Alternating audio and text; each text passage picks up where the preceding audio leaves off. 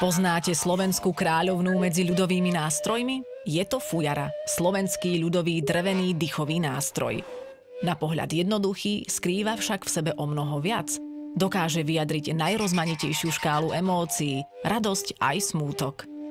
Podľa odborníkov miestom narodenia slovenskej fujary je oblasť slovenskej Ľubče, Usudzuje sa, že trojdierková basová píšťala sa dostala na toto územie v období tureckých vojen spolu s plukom žoldnierov zo západnej Európy. Podľa inej hypotézy sa fujara dostala na územie dnešného Slovenska počas tzv. valaskej kolonizácie v 14. až 15. storočí.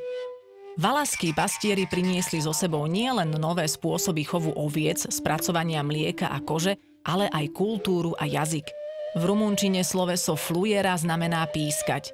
Pôvod slova fujara sa môže viazať aj na albánske výrazy flu a era, čo vo voľnom preklade znamená vanie vietor.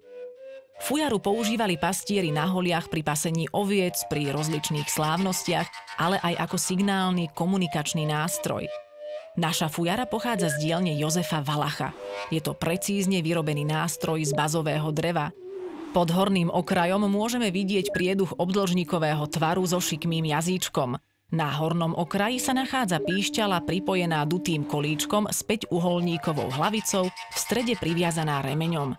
Fujara je pekne dekorovaná, pri hornom okraji nad prieduchom môžeme vidieť motív kohúta a sliepky, o niečo nižšie vtáčatá. Ornament je kombinovaný, tvoria ho krivinkové pásy ukončené štilizovaným kvetom, Okraje sú lemované polkrúžkami. V dolnej časti si môžeme všimnúť štilizované tulipány. Okolo dierok sa nachádzajú elipsovité tvary lemované polkrúžkami.